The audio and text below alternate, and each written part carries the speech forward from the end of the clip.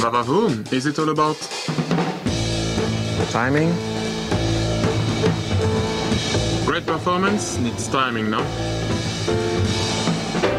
Let me break it down. It is variable valve timing. That makes the Clio so responsive and fuel efficient. It's like when the left hand does and the right does. and VVT makes Vavavoom.